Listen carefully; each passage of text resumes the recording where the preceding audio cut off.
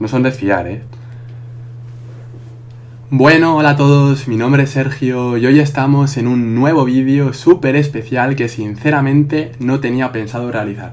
O sea, lo he visto esta mañana y he dicho, Sergio, ya tienes vídeo eh, porque esta equipación es una auténtica locura. Muchas veces en el canal obviamente hablamos de equipaciones, pero también suelo reservar un pequeño hueco a las equipaciones eh, conceptuales. Me refiero, hay muchos diseñadores en Twitter, en Instagram, que hacen ellos mismos sus propias equipaciones y fabrican equipaciones fantasy. Entonces muchas veces suelo hacer vídeos reaccionando a este tipo de equipaciones.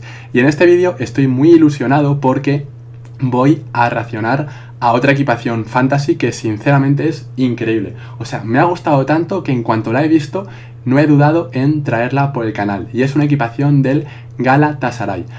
Eh, antes de nada, nos vamos a mi cuenta de Twitter y esta es eh, mi cuenta de Twitter. Os agradecería que me siguierais por aquí eh, porque comparto con vosotros el día a día del canal y bueno, eh, siempre es especial que también me sigáis por aquí. Mirad el otro día, tío. O sea, esto lo publiqué ayer para que veáis. Es una captura hecha por, por mi móvil, o sea, con mi móvil. ¿Y con cuántos seguidores me despertaré mañana en TikTok? El caso, yo también tengo cuenta de TikTok y últimamente se nos está yendo la olla. Me refiero, creo que esta semana he llegado, o sea, comencé la semana con a lo mejor 300 seguidores, si no me equivoco. O sea, no estoy mintiendo, ¿eh? Estamos a viernes, estoy grabando esto a viernes. Y comencé la semana con a lo mejor 300 seguidores. 400 ni de coña. Bueno, el caso es que ayer llegué a los 1000. O sea, he hecho un montonazo de suscriptores, o sea, de seguidores, en poquísimo tiempo. Y ayer me fui a dormir a las 11 y media. Digo, ¿con cuántos seguidores me despertaré mañana en TikTok?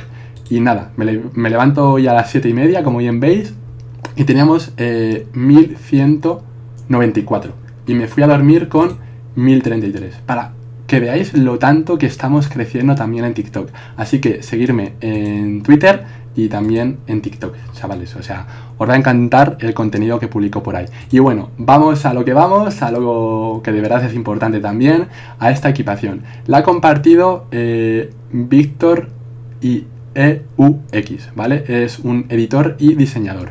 Como bien veis, Galatasaray 2022-2023 Away Kit. Colaboración con eh, Ozando. Ozando es que incluso me sigue. ¿Este también me sigue? ¡Oh, me siguen los dos, chaval! Ojo, eh. O sea, no lo sabía. Ozando sí sabía que me seguía. Pero este chico no. O sea, me siguen los dos, tío. Qué orgullo, lo prometo, qué orgullo.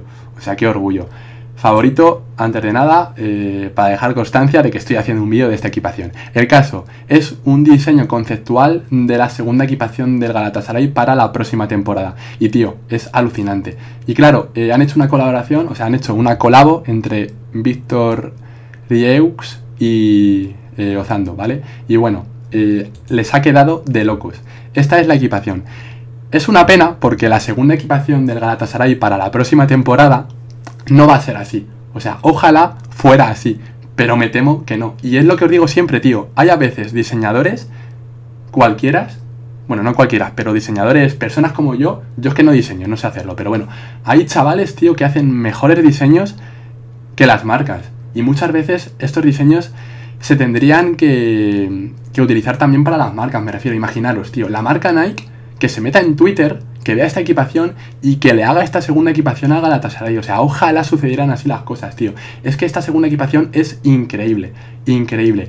Ya sabemos cómo va a ser la primera equipación del Galatasaray porque os la he enseñado por el canal y dentro de poco haré otro vídeo.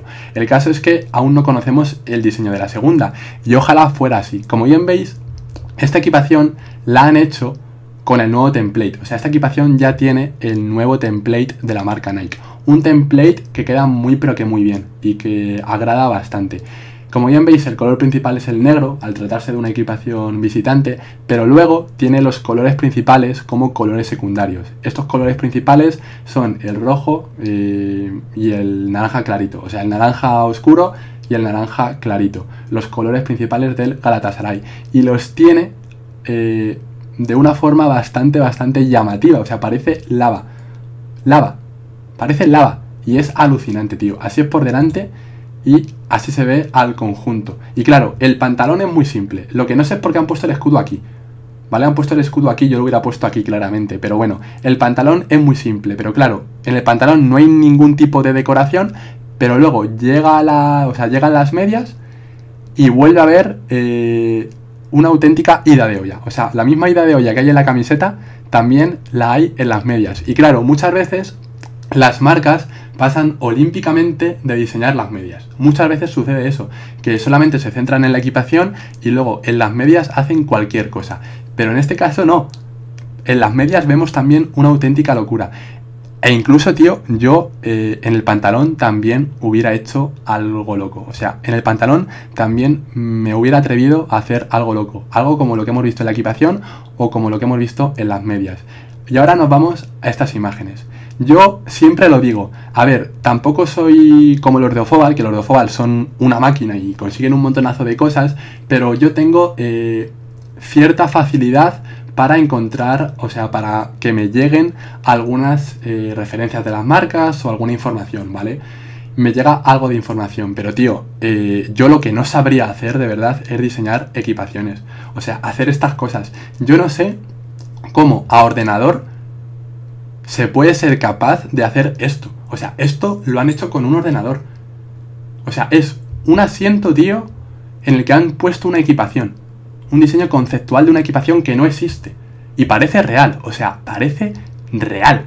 Y mirad qué bien queda. O sea, esto lo habré puesto de miniatura porque me parece una auténtica locura. Yo no logro entender cómo esto se puede hacer a ordenador. Y cómo puede quedar tan bien.